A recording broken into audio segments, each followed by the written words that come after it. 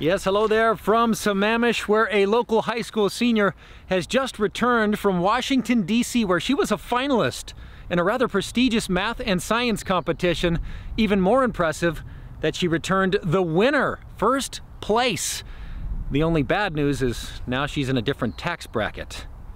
How does a teenager spend $250,000? And now, the moment we've all been anticipating. The competition was hosted by Melissa Villasenor from Saturday Night Live. So you're starstruck, and then you hear your name called. Eastlake High School in Sammamish, Washington, Christine Ye.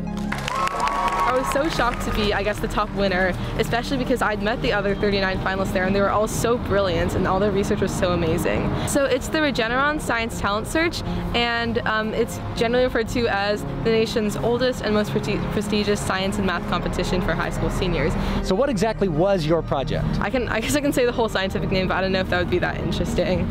Test me. It's like inferring the neutron star maximum mass and the lower mass gap in spinning neutron star black hole systems. Boy, Eastlake's come a long way since I went here.